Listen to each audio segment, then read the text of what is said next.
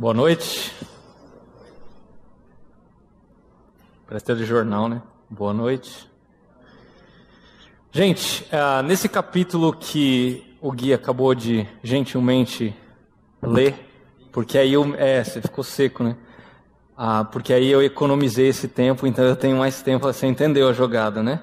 É o seguinte: tem muita escatologia. Vocês perceberam que o capítulo lida com o sonho, tem estátua tal.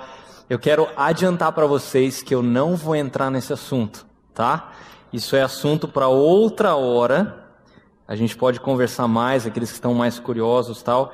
Eu vou apenas fazer duas divisões nesse capítulo. Então, para quem está anotando, eu vou dizer essas divisões para vocês e tem no segundo ponto tem algumas subdivisões, tá? Mas a primeira, o primeiro ponto que eu vejo nesse texto é o seguinte: a sabedoria do mundo. Como é que o texto evidencia, mostra a sabedoria do mundo? Isso vai do versículo 1 ao versículo, a parte A do versículo 13. O que, que a gente percebe? Que a coisa já começou difícil. De Daniel capítulo 1, para quem estava aqui, eles terminaram bem, foram exaltados, foram encontrados mais sábios, dez vezes mais sábios que o resto dos jovens. E eu creio que a gente se identifica aqui porque a gente também vive numa realidade de um mundo caído, como eles viviam. A gente não está na Babilônia daquela época, mas a gente tem os nossos problemas na escola, na faculdade, no trabalho, na academia, parentes que não temem a Deus e muitas vezes entram em conflito com a gente. Tudo isso promove dificuldade para que você e eu vivamos uma vida. Ah, justa diante de Deus. O que, que eu quero dizer com isso? Quem estava no acampamento aqui? Levanta a mão. Ok. Lá ficava muito mais fácil, e entenda o fácil aqui, de viver uma vida cristã. Porque a gente era estimulado a cantar, logo de manhã você já acordava e dava bom dia para aquela pessoa que estava do lado, que não roncou a noite inteira. Você lia a sua Bíblia, você cantava. Então, viver a vida cristã, o dia a dia da vida cristã ali era muito mais fácil. Agora, aqui no mundo real, a coisa pega, principalmente com essas lutas que a gente enfrenta por conta de um mundo que jaz no maligno. Nabucodonosor, a gente percebe aqui que ele estava pensando no futuro dele. Versículo 29 fala, Daniel fala, né, quando estavas deitado, ó rei, tua mente se voltou para as coisas futuras. Ele teve um sonho, ficou perturbado, e aí ele faz algo que era impensável para aqueles dias. Algo que é impensável para nós que temos a Bíblia toda, tem várias histórias sobre sonhos e visões, mas não tem nada parecido. E aí ele chama os caras, né, os encantadores, os sábios, e exige o que nenhum rei, até onde eu saiba, já exigiu de alguém. Olha, eu tive um sonho e eu quero saber o que, que significa. Aí os caras, tá bom, rei, conta o sonho e a gente conta o que significa. Não, eu quero que vocês me contam o que eu sonhei e o que significa. Como é que é? ô, rei, conta o sonho e aí a gente conta o que significa, a gente interpreta. Vocês estão querendo me enrolar, né? Eu estou vendo que vocês estão querendo ganhar tempo. Eu não vou dar tempo para vocês. Ou vocês me contam, ou vocês estão mortos. Eu gosto da expressão, né? Fala que é, vocês vão ser cortados em pedaços. é da hora. E as suas casas vão se tornar montes de entulho. Tem que chamar umas caçamba lá. Os caras estavam certos de que eles podiam interpretar o sonho uma vez que o sonho fosse dado para eles. Mas adivinhar o sonho era impossível. Inclusive, eles falam da limitação da ciência do homem. É interessante como é que incrédulo muitas vezes fala verdades bíblicas. Já reparou isso? Olha o versículo 10 e o versículo 11. Os astrólogos responderam ao rei: Não há homem na terra que possa fazer o que o rei está pedindo. Nenhum rei, por maior e mais poderoso que tenha sido, chegou a pedir uma coisa dessas a nenhum mago, encantador ou astrólogo. O que o rei está pedindo é difícil demais. Ninguém pode revelar isso ao rei senão os deuses, ou seja, aqueles que não habitam entre nós. É essa a expressão hebraica aqui. Eles não vivem entre os mortais. O rei fica irado, e aí começa a nossa história. Tem uma boa trama, uma situação complicada, o rei ordena que os sábios sejam executados, isso inclui Daniel e os três amigos dele. Você já reparou como às vezes a gente chega em casa frustrado? Você fala, meu, cara, aquele professor é. É louco. É muita coisa para estudar para a prova de amanhã. E ele ainda deu mais matéria hoje. Em vez de revisar, ele colocou matéria em cima disso. E o pior, você estuda, consegue ir bem na prova, você não tira 10, mas você consegue ir bem. Aí chega o professor na hora de entregar a prova para você, ó, oh, você foi bem, mas pode ser melhor, hein? Como assim? Ou você que trabalha com meta, né? Você fala, cara, é impossível bater a meta esse mês. Aí alguma coisa acontece, você consegue bater a meta e o seu chefe chega lá, foi bom, mas você pode melhorar. Cara, que mundo é esse? É um mundo que só está preocupado com que nós produzamos cada vez mais. Faz a gente se sentir uma máquina. Só que deixa eu dizer uma coisa: até a máquina quebra. A máquina tem um limite. Só que o mundo não está nem aí para isso. Ele, o mundo nem faz manutenção em máquina. Ele quer simplesmente que a máquina produza, produza, produza, produza, produza. Como que isso pode ser consertado? Com uma visão de mundo à luz da palavra de Deus. O que eu quero enfatizar aqui, que eu vejo nesse texto, é que a palavra de Deus ela pode transformar a nossa visão de mundo e isso pode transformar as nossas situações ao nosso redor. Mas é só a palavra de Deus que tem esse poder. Mais nada. Ou eu vou usar a expressão cosmovisão, né? Visão a, a ideia que você tem de cosmos, cosmos mundo, então cosmovisão, tá? Essa é a primeira parte do texto. A segunda parte do texto é a parte maior que fala do caráter cristão. Primeiro a gente viu o caráter do mundo, agora a gente vai ver o caráter cristão, isso vai dos versículos 13, parte B do versículo 13 até o 30. A gente tem que lembrar que Daniel e os amigos dele eram jovens. Lembra que a gente viu no capítulo 1 eles chegaram lá na, na Babilônia por volta dos seus 13, 14 anos.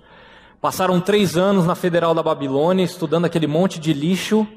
Terminaram o curso deles, se formaram na Federal. E por volta dos seus 17, 18 anos, eles se formam, são encontrados mais sábios que os outros ah, da Babilônia ali. Eles são jovens, e o que me chama a atenção é que eles são jovens espirituais eles têm um caráter cristão. E o que eu quero dizer é o seguinte: para você ser um cristão que demonstra Cristo, você não precisa ter cabelos brancos e 30 anos de caminhada com Jesus. Espiritualidade cristã não depende de quantos anos com Cristo você tem. Depende do quanto de devoção você tem ao Senhor. Pô, mas eu fui salvo, né? Eu, me, eu fui rendido ao Senhor lá no acampamento não tem problema. Se você for um jovem que é devoto ao Senhor, diariamente procura conhecer a Deus na Sua palavra, você pode ser um jovem espiritual como eles eram. Isso não precisa, você não precisa ter anos de caminhada com Deus. Isso vai ficar claro no texto por três subpontos que eu vou usar aí. Eu vou repetir eles, mas eu quero falar para vocês caso você esteja anotando. Primeiro, você percebe o quê? Que eles têm uma ousadia que é reverente. E é isso mesmo que eu estou usando. Ousadia reverente. Isso vai dos versículos 16 ao 18. Segunda coisa que a gente percebe neles é que eles têm uma oração que é constante. Os versículos 17 e 18. Oração constante. E a terceira coisa é uma gratidão que é evidente, dos versículos 19 ao 23. Então vamos começar pela ousadia reverente. O que, que eu quis dizer com isso? Olha só os versículos 16 a 18. Diante disso, né, diante de tudo que estava acontecendo, Daniel foi pedir ao rei que lhe desse um prazo e ele lhe daria a interpretação. Daniel voltou para casa, contou o problema aos seus amigos Ananias, Misael e Azarias, e ele lhe pediu que rogassem ao Deus dos céus que tivesse misericórdia acerca desse mistério, para que ele e seus amigos não fossem executados com os outros sábios da Babilônia. Parece até estranho falar em ousadia reverente, mas é de propósito. Porque nós devemos ser assim na escola, no trabalho, na faculdade, diante do nosso chefe, diante das nossas metas, das contas que a gente tem para pagar. Diante de tudo isso, nós devemos ser ousadamente reverentes a Deus. Não dá para ficar só na ousadia. De ousadia o mundo está cheio. A gente tem que ser reverente a Deus como Daniel, que crê num Deus que diz o seguinte: Felizes os que choram pelo seu pecado. Não é estranho isso? Já parou para pensar nessa frase de Jesus? Felizes os que passam fome e sede por causa da minha justiça. O que é loucura para o mundo, ou seja, alguém feliz que está chorando, alguém que está angustiado, mas não desesperado, como Paulo fala. O que é loucura para o mundo é verdade para um cristão. Daniel, ele não tem uma ousadia em cima do potencial dele. Ele tem ousadia porque ele sabe o Deus a quem ele serve e ele tem um temor a esse Deus. Lembra que os magos, versículo 8, o que, que eles pediram? Um tempo. Não é isso que o rei descobriu? Vocês estão querendo ganhar tempo, vocês estão querendo me enrolar. Ok. O que, que Daniel fez? Daniel foi ousado e se colocou na presença do rei pedindo aquilo que o rei não queria dar, que era tempo. Olha o versículo 16. Diante disso, Daniel foi pedir que o rei lhe desse um prazo. E aí? O rei deu. O cuidado de Deus começa a se mostrar aí, de como é que até o coração do rei está na mão do Senhor, como Provérbios 21 fala. Agora, algo muito interessante para mim aqui é o versículo 17. Olha só, Daniel voltou para casa e contou o problema a seus amigos. Tá. O que vai acontecer aqui, ele dá início no capítulo 2 e também tem o desfecho no capítulo 5. Daniel, pelo texto, nós não sabemos se Daniel já sabia que ele tinha o dom de interpretar sonhos ou não. O texto não nos diz isso. Então Daniel, se Daniel ele não sabia do dom, esse pedido de tempo era para que ele orasse e pedisse para Deus revelar. Ele não sabia se Deus ia dar. Agora, se Daniel já sabia, e ele pede um tempo para fazer o quê? Para orar, para agradecer a Deus. Olha o caráter dele. Por quê? Daniel entendia o seguinte: se Deus não estiver comigo, o meu dom, o meu talento é em vão. Não adianta você ser a pessoa mais talentosa do mundo. Se Deus não estiver nisso, um abraço. Isso vai para o lixo. Imagina só, e eu, eu, eu, eu me enxergo muito nesse ponto aqui. Se eu, se eu fosse Daniel e soubesse que eu tinha o dom, provavelmente eu ia falar para o rei: Rei, senta aí que eu vou te contar. Eu já sei. Eu vou, eu vou falar para você o que, que aconteceu. Mas, embora ele tivesse habilidade, ele se volta para Deus e isso é muito importante para nós. Por quê? Às vezes nós temos a tendência a confiar muito naquilo que a gente sabe fazer. Como, como, como seria bom se nós, enquanto cristãos, quando a gente está diante de alguma coisa que a gente está careca de saber, né? É, é, é fácil para mim executar tal tarefa. E nós falássemos assim: Senhor, me usa de novo. Cuide para que eu faça tudo conforme o teu agrado. Permita, Senhor, que eu faça isso ou aquilo de uma maneira correta, de uma maneira que te agrada. Passa longe essa noção de que a gente tem que depender de Deus, principalmente para coisas que a gente sabe fazer. E o pior é que aí as pessoas não ajudam, né? Elas chegam e dão um tapinha em nós. Cara, você mandou muito bem. E aí o nosso ego vai lá em cima, né? Não, ó, tudo que você faz, meu, fica show. E aí, se bobear, a gente perde de vista a ideia de que a gente tem que ser ousado à medida que nós reverenciamos a Deus. Porque se o Senhor não abençoar, o dom é em vão. Segunda coisa, a oração constante, os versículos 17 e 18.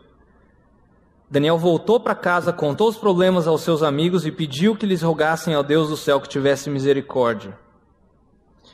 Depois de pedir misericórdia para os homens, ele pediu, para o rei, fala, me dá um tempinho. Ele vai e pede misericórdia para Deus. Aqui é a primeira evidência que a gente tem no livro de Daniel que Daniel era um homem de oração.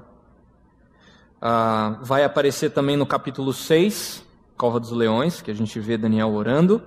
E também, para mim, uma das orações mais bonitas da Bíblia, que está lá no, no capítulo 9, dos versículos 1 a 19. É fantástico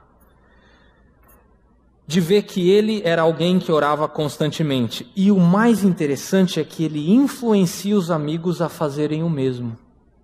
Ele não fica só na oração individual, ele faz isso ser contagiante para quem está perto dele, até essa prática. Por que, que eu estou falando isso? Se você já nasceu de novo, você entende que a cruz nivelou todo mundo no mesmo patamar. Todo mundo é pecador, como Romanos fala, e todos carecem da glória de Deus. Sem Cristo morrendo na cruz e ressuscitando, não existe salvação para ninguém, porque todos pecaram. Todos estão aquém do padrão de Deus.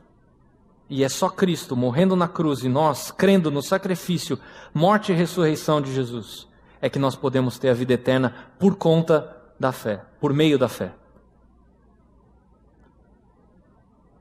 E aí, quando o cristão ele nasce de novo, a ordem que nós temos no Novo Testamento, principalmente, é que nós tenhamos comunhão uns com os outros. Só que comunhão é um termo muito mal compreendido, já reparou isso? A gente geralmente pensa que comunhão é comer pizza, é uma programação da igreja, é ver um filme, é estudar a Bíblia junto, porque afinal a gente é crente, né? Será que comunhão é isso? Ou é só isso? Comunhão, à luz do Novo Testamento, significa a gente fazer parte da mesma vida. Você não está num corpo diferente, você está no mesmo corpo. Quem nasceu de novo e faz parte, por exemplo, dessa igreja local, faz parte de um mesmo corpo. Você não vive separado. Aliás, se você tentar pegar um órgão de dentro de um corpo e colocar ele em cima de uma mesa, o que, que vai acontecer? Ele morre. Ele só está vivo dentro do corpo. Então, esse negócio de falar assim: ah, eu sou igreja, mas eu não preciso ir lá na. Eu não preciso congregar, eu sozinho sou igreja. Cara, desculpa, mas você está lendo uma Bíblia que eu desconheço, eu nunca li isso. A Bíblia fala que comunhão é nós participarmos da vida uns dos outros. Amanhã de manhã nós vamos estudar isso aqui aqui se você quiser, ah, vale a pena você estar tá aqui amanhã conosco no culto. E uma das coisas erradas que vem na bagagem dessa ideia é, é, é outro lado, né? Gente que está dentro e fala assim, da, de uma pessoa que está fora, fala assim, é, essa pessoa não está em comunhão com Deus. Opa! Como assim? Se você não está em comunhão com Deus, você está morto. A gente não entra e sai da presença de Deus. Lembra que o véu rasgou quando Jesus morreu? Não existe mais esse negócio de entrar e sair. Nós estamos entrando na tua presença. Não. Nós vivemos na presença de Deus. A gente não sai da presença de Deus. Se você tiver dúvidas quanto a isso, vale a pena ler Efésios capítulo 4. Porque, de acordo com as Escrituras, uma vez salvo, para sempre salvo. A gente pode ter a comunhão manchada pelo pecado, aí é outra coisa. Mas a gente não deixa de ter comunhão com Deus, uma vez que nós nascemos de novo, ok? Então, comunhão é você afiar o seu irmão. Tem um versículo em Provérbios que diz isso. Assim como ferro afia o ferro. Você já viu é, filme medieval que tá os caras lá fazendo espada e tal? Às vezes bate uma espada na outra, o que, que acontece? Sai faísca. Por quê? Porque é um ferro que está passando no outro e está afiando o outro. Mas sai algumas lascas. Isso dói. Mas isso faz com que uma espada possa afiar a outra. Mesma coisa que você faz com faca. Esse é o processo que Deus fez. Isso é comunhão. É participar da vida um do outro. Daniel estava no mesmo nível que os seus amigos e ele chama os seus amigos para orar. Terceiro, uma gratidão evidente, dos versículos 19 a 23. Daniel reage à revelação que Deus deu para ele com uma extrema gratidão, por duas coisas. Se você olhar aí, olha o versículo 23. Eu te agradeço e te louvo, ó Deus dos meus antepassados. Tu me deste sabedoria e poder, e me revelaste o que te pedimos. Revelaste-nos o sonho do rei. Ele louva a Deus por duas coisas: pela sabedoria de Deus, por revelar aquilo que é misterioso, e pelo poder de Deus, por Deus ter os reinos nas suas mãos. Daniel também louva o fato desses atributos de Deus serem perceptíveis. A, a parte B do versículo 23 fala isso. Ó, tu me deste sabedoria e poder e me revelaste o que te pedimos. Tem algumas coisas que Deus não, não compartilha conosco: imutabilidade, onisciência, onipresença. Essas coisas a gente não compartilha. Mas tem outras coisas que Deus compartilha conosco. Você é um ser amoroso, porque Deus é amor. Você é alguém que pode perdoar, perdoar, porque Deus perdoa. Você compartilha desses atributos de Deus. Por que, que isso é importante?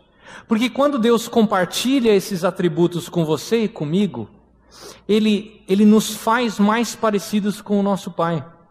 Então, não é só o fato, apesar disso ser fantástico, mas não é só o fato de nós sermos legalmente adotados por Deus. Isso já é maravilhoso. Mas além de nós sermos adotados, a gente tem a possibilidade de se parecer com o nosso Pai. Cara, isso é fantástico. Mas isso só acontece quando nós andamos perto dele. Quer ver um exemplo disso que eu acho muito legal? Todo mundo conhece Pedro, apóstolo Pedro? O cara fez muita besteira enquanto andava com Jesus. Meu, ele, fez, ele deu muita bola fora. Chegou até a negar o Salvador. Mas aí, ele tem um encontro com Cristo, ele nasce de novo. E esse homem, que chegou até a negar o Salvador, a tal da blasfêmia contra o Espírito Santo, ele se arrepende, crê no Salvador, e ele é usado por Deus para iniciar a igreja. Se você olhar em Atos 2, sabe quando você vê em filme que tem uma fileira assim, e aí todo mundo dá um passo para trás e só fica um cara bobo na frente? Ali foi o contrário, tinha uma fileira de apóstolos ali, e Pedro fez assim. E Pedro prega. E pela graça de Deus, três mil pessoas se convertem. Foi Pedro, aquele cara. O primeiro gentil a se render aos pés da cruz foi Cornélio. Quem que pregou para ele? Pedro. Pedro foi o homem que Deus usou para iniciar a sua igreja. Aquele lá, meia boca. E tem um episódio muito legal em Atos 4, onde Pedro está sendo acusado e ele está diante de vários doutores, gente que tinha PhD, pós-doutorado na lei. E Pedro era o quê? Pescador. Ele era iletrado. E aí o que, que acontece? Pedro começa a discursar para aqueles caras, aqueles doutores lá. E aí eles olham e falam o seguinte: como é que esse cara, que mal sabe ler e escrever, fala tão ousadamente? Que tipo de autoridade é essa com que esse homem está falando? Isso acontece quando um pescador se rende aos pés do Senhor, diariamente busca Deus e esse pescador humilha até quem é PhD no mundo. Eu não estou falando para você não estudar e não buscar títulos, tá? O que eu estou falando é que a sabedoria de Deus sobrepõe a sabedoria do mundo. Seja qual sabedoria do mundo você quer colocar aqui, a sabedoria de Deus está acima. Daniel estava certo de que ele tinha recebido sabedoria e poder extraordinário para interpretar, mesmo antes de revelar o sonho para Nabucodonosor. Percebeu isso? Ele acaba de orar e agradece a Deus. Provavelmente eu faria o seguinte: Senhor, só um pouquinho, deixa eu ir lá, conferir com Nabucodonosor, se tiver certo eu volto e te louvo. Daniel não. Daniel falou na hora: Senhor, muito obrigado, porque o Senhor me revelou aquilo que eu estava precisando. Eu quero concluir. Nossa, já? Eu quero dar um tom diferente do que geralmente a gente ouve sobre Daniel.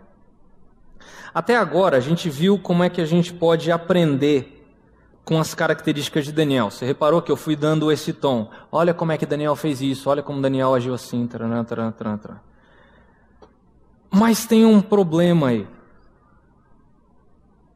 Eu já me peguei contando a história de Daniel e, e eu vou criticar aquilo que eu já fiz. Então não se sinta mal se você já fez o que eu vou descrever aqui, porque eu já fiz isso algumas vezes. Sem perceber, muitas vezes nós exaltamos mais a Daniel do que o Deus de Daniel. Quando eu contava ah, essa história e outras histórias para crianças, quando eu dava aula para criança, querendo aplicar, minha intenção não era ruim. O que, que eu fazia? E talvez você se identifique comigo. Gente, vocês têm que orar como Daniel fazia. Vocês têm que obedecer o papai e a mamãe como José fez. Ah, a gente não pode brigar com o um amiguinho, isso não é amor ao próximo. Gente, isso é apenas falar da conduta da criança, não é falar daquilo que Deus fez por ela. Sem perceber, nesse tom, nós somos absurdamente moralistas. Se a gente faz isso, a gente não difere muito de um livro de história infantil que tem uma moralzinha no final. É a mesma coisa. Eu já vi pregações que falam que nós temos que ser como Daniel. Eu já vi um cara que falou que a gente tem que ser corajoso como Daniel lá na fornalha. Eu falei, peraí, Daniel nem estava tá na fornalha, cara. Você tem que ser como Davi, que em nome do Senhor destrói o gigante. Está errado. A figura de Davi ali não é a nossa figura. Sabe qual que é a nossa figura? A do povo que estava acuado. Quem que vence por nós? Jesus. Davi está prefigurando Jesus que mata o gigante. É ele que vence, a glória é dele, não nossa. É o nosso Salvador que vence os gigantes por nós, e é ele que tem que ganhar toda a glória. O capítulo 2 aqui não é sobre Daniel, e sim sobre o rei, com R maiúsculo, de Daniel. Ele usa a boca de Daniel para falar da sua majestade. A gente vê isso nos versículos 27 a 29, olha só. Nenhum sábio, encantador, mago ou adivinho é capaz de revelar ao rei o mistério sobre o qual ele perguntou. Mas existe um Deus, Deus de letra maiúscula aí, ó, nos céus, que revela os mistérios. É importante notar que Daniel não se destaca, ele não se promove. Olha o versículo 30. Quanto a mim, esse mistério não me foi revelado porque eu tenho mais sabedoria do que os outros homens, mas para que tu, ó rei, saibas a interpretação e entendas o que se passou na tua mente. Olha a postura de Daniel, que legal. Nós, às vezes, nos confundimos na hora de falar do Evangelho. E, entenda, eu estou querendo ser bem amoroso aqui porque todos esses erros que eu estou levantando eu já cometi. Mas eu já ouvi assim: eu gostaria que você entendesse como é que Deus pode se encaixar na sua história. Está errado. Somos nós que somos encaixados na história de Deus, e não o contrário. Nós que, como eu ouvi certa vez, nós somos uma página em um livro.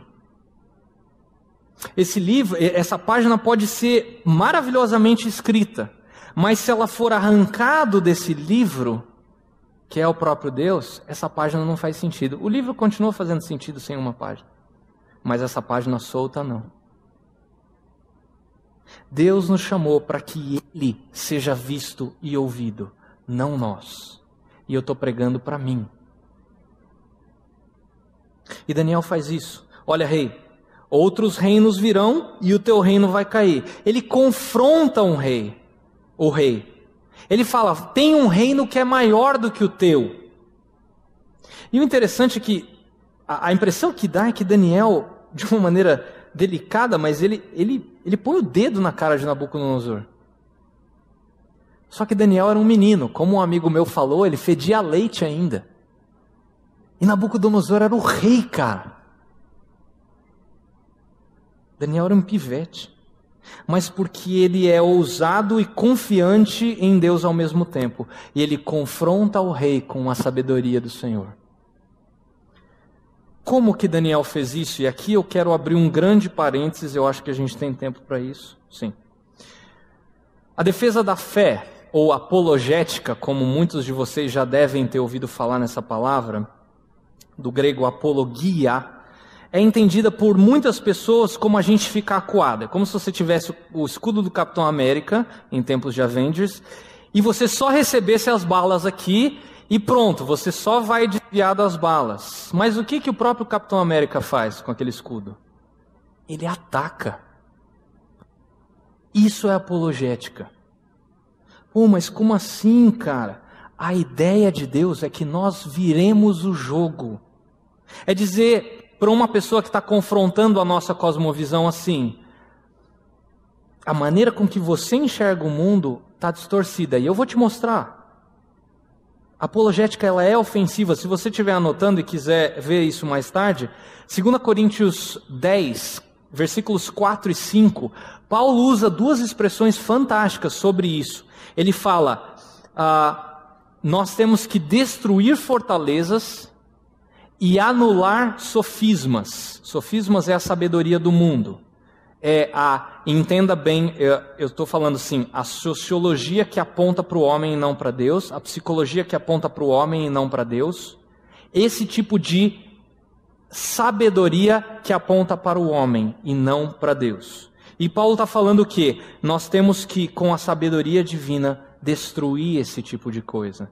Gente, isso não é uma linguagem suave, a gente não tem que confrontar em amor. A linguagem de Paulo aqui é uma linguagem bélica, é de batalha. Verbos que apontam para a guerra. O que, que eu estou querendo dizer com isso? A gente tem que estudar a palavra de Deus, e estudar a palavra de Deus, e conhecer a palavra de Deus, e pedir sabedoria, como o Tiago fala para a gente pedir diariamente. Provérbios tem 31 capítulos. Você já parou para pensar que você pode, uh, um mês sim, um mês não, ler Provérbios um capítulo por dia? E aí, quando acabar o ano, você vai ler Provérbios seis vezes.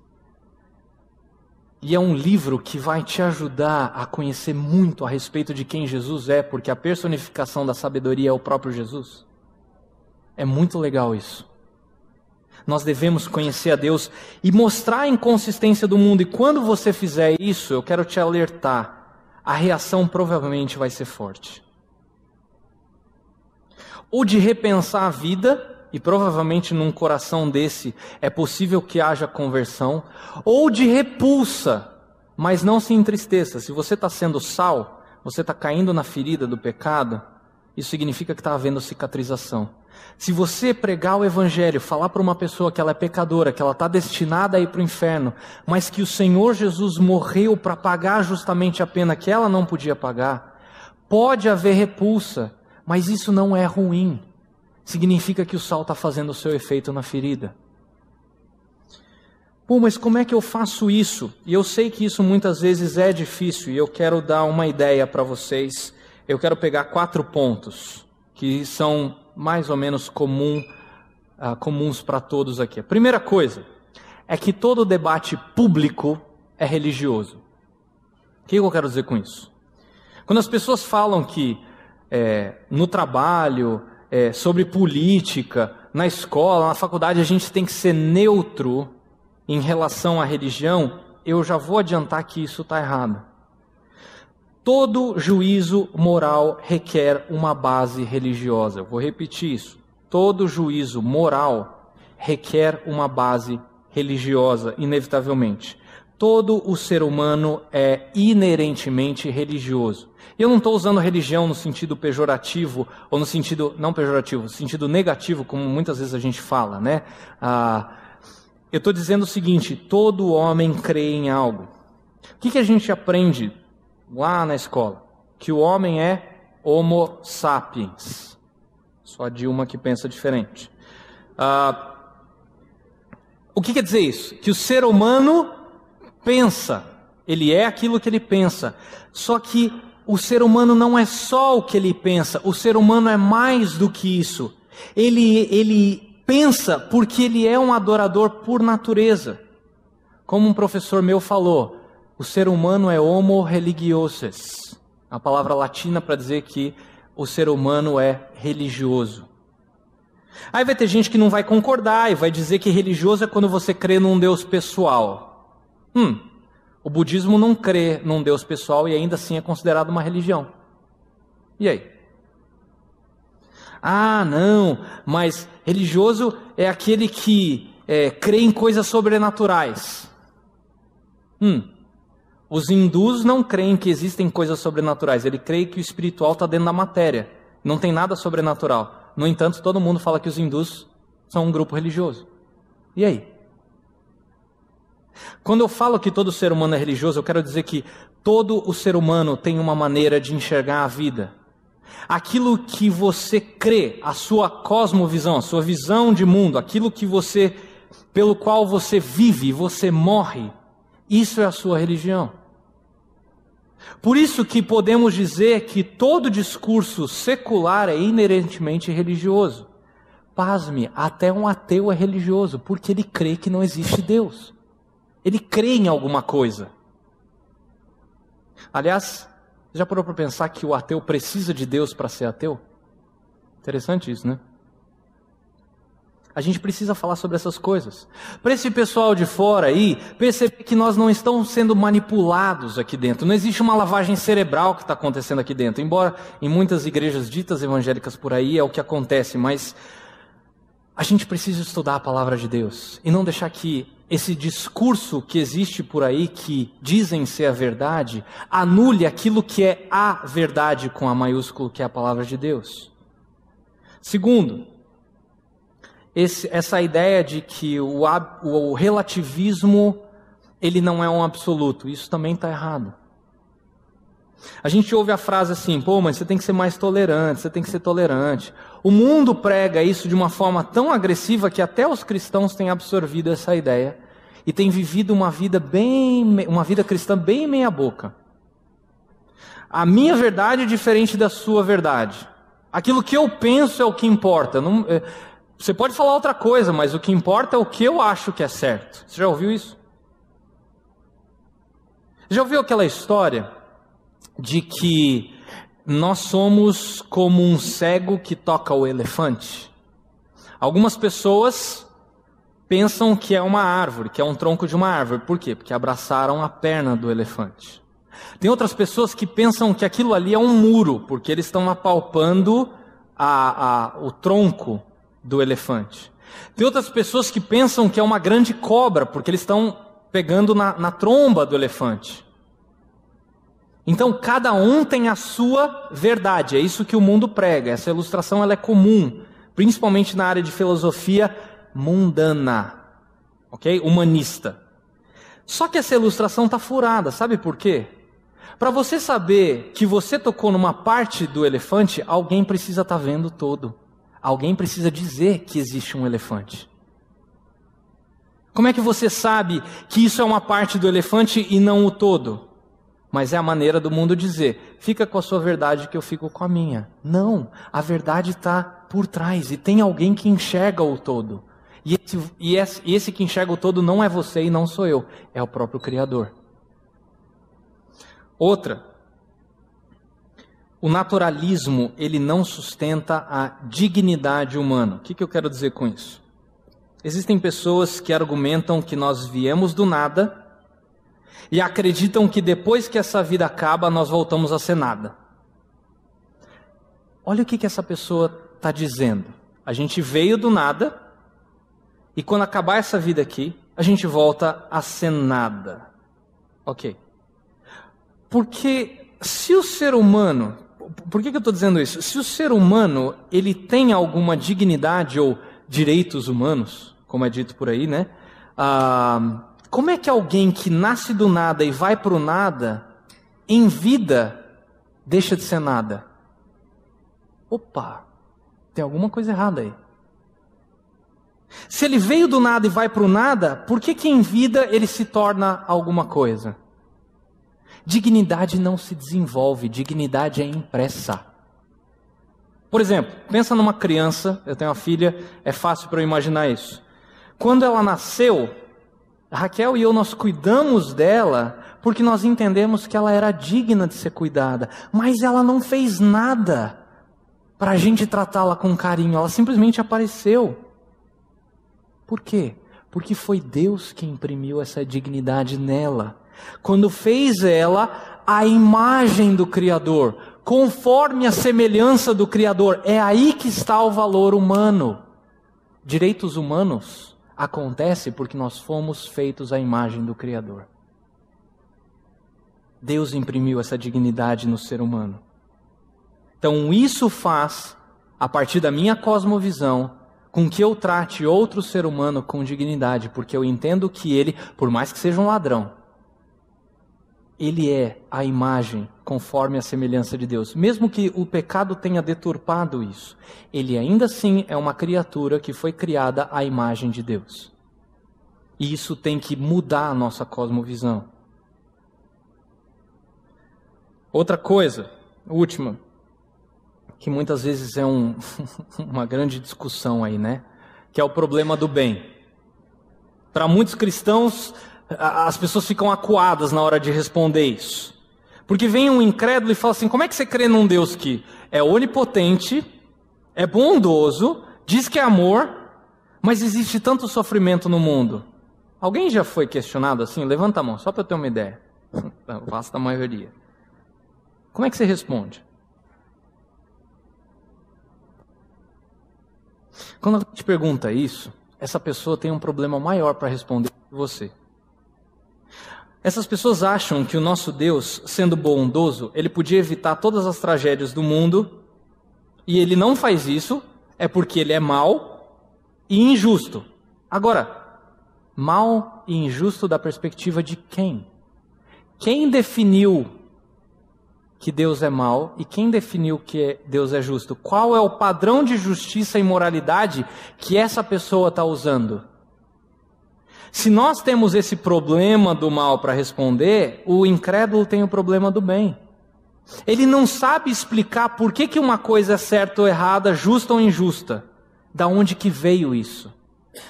Porque eles não têm um padrão moral. Tem muita gente que diz por aí que ah, não precisa acreditar nesse Deus que tem leis morais como padrão de moralidades. Ok, me mostre de onde que vem a sua moralidade. Já que você crê que você é um produto do desenvolvimento de uma ameba que chegou em você agora. Aonde que moralidade foi impressa nesse processo? Bilhões de anos? Não. Ah, mas espera aí, é, é, a, moralidade vem daquilo que é útil para as pessoas. Tá bom. Roubar é útil para um ladrão. Não, não, não. Peraí, peraí. Não me engana. Eu estou falando aquilo que as pessoas sentem, né, é, no seu interior. Tá bom. Fala isso para um psicopata que segue o seu coração e as inclinações do seu interior, que sai matando todo mundo. Não, não, não é disso que eu estou falando. Eu estou falando daquilo que é o melhor para a maioria. Tá bom, você acabou de criar aí o preconceito contra as minorias. Cara, o discurso deles ele é incoerente. Como é que a gente vai entender isso? Nesse livro aqui, ó. É aqui que a gente tem que adquirir sabedoria. Se existe, se não existe um padrão fora desse mundo, daquilo que é certo, justo e bom, não tem como falar se a atitude de alguém é certa, justa e boa. Por isso a gente tem que ficar atento, porque essas pessoas pegam aquilo que é nosso, o padrão de moralidade que veio de Deus, e usam isso contra nós e a gente cai direitinho. A nossa cosmovisão, à luz das Escrituras, ela é tremendamente coerente porque vem de Deus e Deus não erra. Não é soberba, é só olhar para o capítulo 1 de Daniel.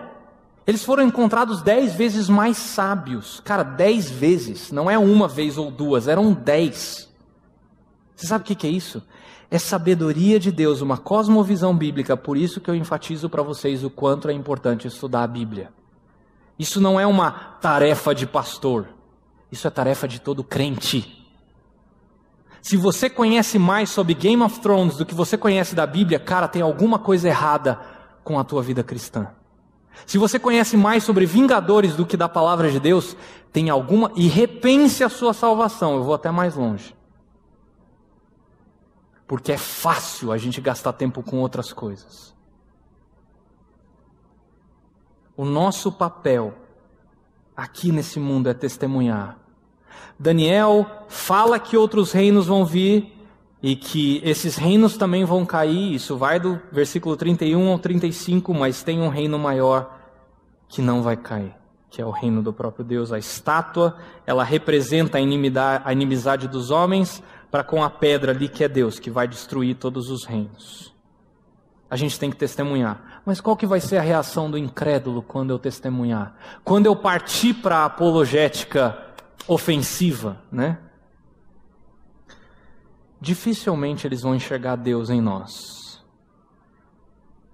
No sentido de se submeter a Deus. Olha os versículos, e eu quero encerrar aqui, 46 a 48. Então o rei Nabucodonosor caiu prostrado diante de Daniel prestou-lhe honra e ordenou que lhe fosse apresentada uma oferta de cereal e incenso. O rei disse a Daniel: Não há dúvida de que o seu Deus é o Deus dos deuses, o Senhor dos reis, e aquele que revela os mistérios, pois você conseguiu revelar esse mistério. Hum. Quando a gente geralmente conversa com essas pessoas, elas olham para nós em vez de olhar para Deus. Isso mostra que não houve conversão. Mas a gente às vezes tem uma tentação de olhar, né? A gente olha para o versículo 46, ignora o versículo 46 e olha para o 47 só e fala: Caraca, Nabucodonosor se converteu ou foi convertido. Vamos batizar ele, ele é crente agora. Olha para o capítulo 3, como é que começa o capítulo 3. O rei Nabucodonosor fez uma imagem de ouro de 27 metros de altura e 2 metros e 70 centímetros de largura dele mesmo. Você acha que ele foi salvo? Ele não se curva para Deus, ele se curva para Daniel. Ele dá presentes para Daniel. Fala de Deus sim, mas o foco não é Deus. Para Nabucodonosor, Daniel é o herói da história. Você já ouviu isso? Nossa, você é uma pessoa iluminada. Já viu quando você prega o evangelho para alguém? Ah, eu percebo que tem uma energia positiva. Essa é a pior de ouvir. Em você. Ou você é uma pessoa de bem. Quase nunca o foco é Deus. O mundo foca em nós, ele não vai focar em Deus, porque para isso acontecer, essa pessoa tem que ter os seus olhos espirituais abertos, e quem decide isso é o Espírito Santo, não você e eu. Ainda assim, o mais importante aqui aconteceu: Daniel testemunhou de quem é Deus e da salvação.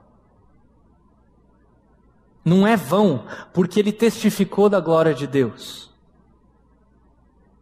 Mesmo que não tenha resultado em conversão aqui. Deus nos chamou para testemunhar, não para converter ninguém. Ah, Leandro, mas você estudou teologia, você tem preparo, taraná, taraná, taraná. Eu quero fechar com algumas palavras de Jesus, eu quero que você ouça, eu não quero que você abra lá. Eu quero que você ouça aquilo que Jesus falou para os seus discípulos, em Lucas 21. Olha só. Mas antes de tudo isso, prenderão e perseguirão vocês. Então os entregarão às sinagogas e prisões, e vocês serão levados à presença de reis e governadores, tudo por causa do meu nome. Será para vocês uma oportunidade de dar testemunho, foi o que Daniel fez. Mas convençam-se de uma vez de que não devem preocupar-se com o que dirão para se defender, pois eu lhes darei palavras e sabedoria a que nenhum dos seus adversários será capaz de resistir ou contradizer. Quando você acha que vai ser difícil na sua escola, no seu trabalho, na faculdade, na empresa, com uma família que é difícil, tenha a ousadia de falar de Deus e saiba que Ele vai estar com você, te dando palavras de sabedoria. Ainda que ninguém seja convertido pelo Senhor, testemunhe e você vai ser uma bela página dentro do livro de Deus. Vamos orar? Senhor Deus, eu sei que nós temos um desafio gigante pela frente.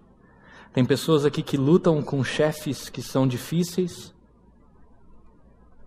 com professores que ou com um sistema de vestibular que exige absurdos hoje, com familiares que nos oprimem por não ter mesmo, mesmo Deus que nós. Mas o Senhor nos chamou para virar a mesa em Teu nome. E eu peço, Deus, aqui, sinceramente, para que aqueles que estão dispostos a andar mais perto contigo, que o Senhor os encha de sabedoria. Que essas pessoas busquem na tua palavra a fonte de sabedoria. Que nós estudemos sim, que nós façamos a nossa parte com aquilo que nós temos que, com os cursos que nós temos que fazer, com as metas que nós temos que alcançar, mas que a nossa dependência final por sabedoria não venha de livros escrito, escritos por seres humanos que olham apenas para o ser humano, mas que nós olhemos para aquele com A maiúsculo que sustenta o universo sem fazer força. Nós te agradecemos, Deus, porque nós podemos ter um relacionamento pessoal com esse Deus. E nós te pedimos por aqueles aqui que talvez ainda não tenham tido um encontro real contigo que o teu espírito possa incomodar tal pessoa ou tais pessoas, para que haja salvação. Muito obrigado, Deus, porque o Senhor é um Deus de sabedoria e de poder, e isso, esse tipo de coisa o Senhor compartilha conosco. Nós te agradecemos, em nome de Jesus. Amém.